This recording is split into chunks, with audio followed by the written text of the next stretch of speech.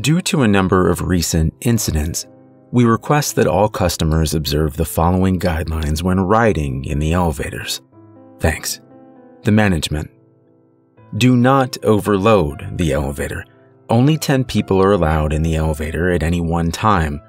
Do be prepared to give up your space for elderly and disabled passengers.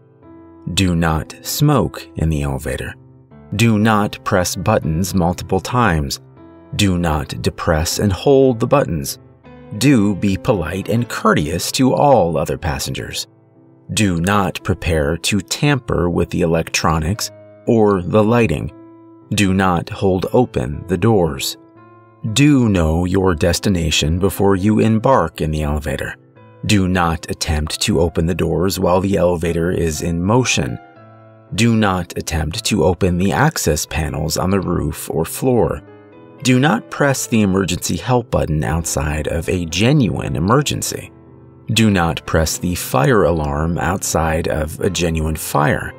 Do not bring bicycles or pushchairs into the elevator. Do not bring open food or drink into the elevator. Do respect other passengers' personal space.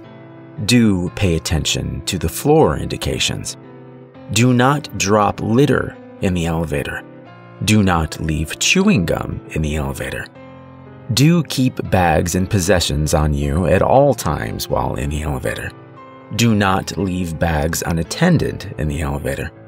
Do not allow children under the age of 16 to ride the elevator unaccompanied. Do ignore any screeching or thumping you hear outside the elevator. It's just the brakes. Do not bring dogs in the elevator. Do use the handrail if available. Do not vandalize the elevator. Do not leave muddy footprints in the elevator. Do ignore the flickering lights. Do not look at the floor indicator if it starts to display words instead of numbers. Do not touch the lights, they can overheat. Do not touch any of the handprints on the walls or ceiling. Once you get the ink on your fingers, it never washes off. Do not look at the reflections of passengers who aren't there. They find it most disconcerting. Do not press buttons for floors you do not need to go to do enjoy our wide range of elevator music. Do stand clear of the doors while they are opening or closing.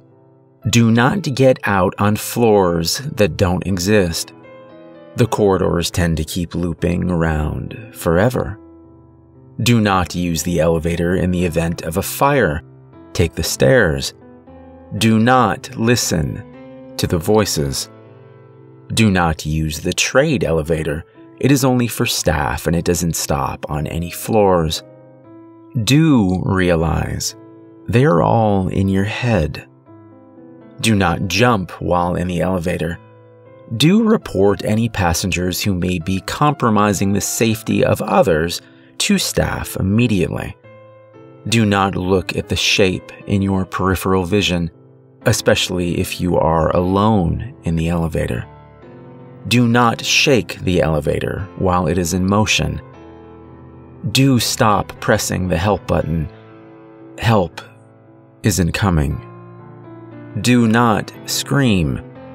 Remember, other guests are trying to sleep.